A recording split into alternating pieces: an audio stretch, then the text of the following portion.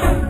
今日活塞坐镇主场迎战鹈鹕，两支球队都是联盟的弱旅，其战绩都差不多，本赛季已经没有季后赛的希望了。相比于活塞呢，鹈鹕可能会有所期待，那就是他们的状元郎蔡恩即将复出。预计在本周五对阵爵士的比赛中啊，迎来自己的 NBA 生涯首秀。如果他回归后能打出应有的水准，那么鹈鹕即使本赛季进不了季后赛，下赛季也是非常令人期待的。比较有趣的是，本场比赛在替补席观战的蔡恩，由于可能训练比较辛苦，或者是第四节队友打得太烂，竟然在关键时刻鹈鹕活塞一百零二比九十九的时候打盹儿了，眼睛不自由的就闭上了，接着又打开又闭上，就好比说我们国人所说的钓鱼中，